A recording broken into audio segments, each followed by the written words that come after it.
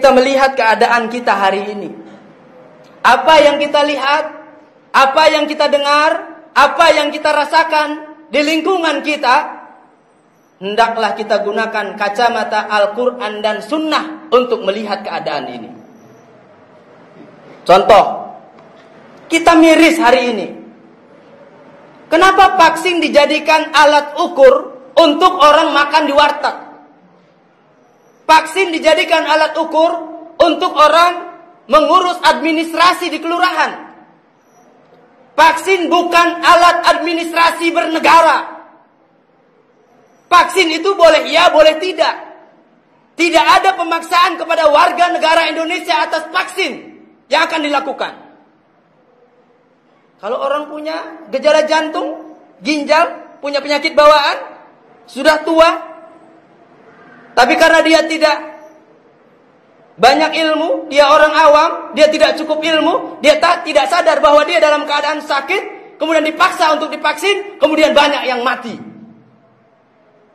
Masyaallah muslimin rahimakumullah. Terus kita tentang vaksin? Enggak. Silahkan vaksin.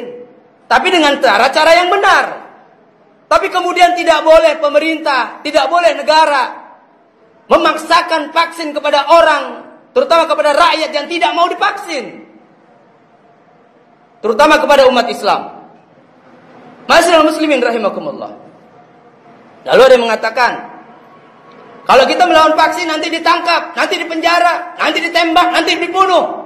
Ya masyarakat sebab, wahai para pemuda, ishad bianna muslim. Saksikan bahwa kita adalah generasi muda yang berserah diri kepada Allah Subhanahu wa taala. Al jihadu sabiluna. Jihad di jalan Allah adalah jalan kami. Al mautu fi sabilillah asma amanina. Mati di jalan Allah adalah cita-cita tertinggi kami.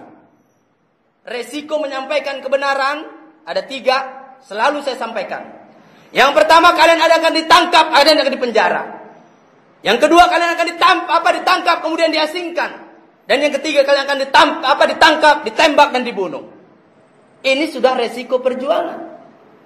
Tapi bagi mujahid, bagi dai, bagi mukharik, bagi penggerak, aktivis gerakan, aktivis dakwah, pendamping umat, pendamping kaum kusam, maka ini sudah menjadi bagian dari perjalanan hidup.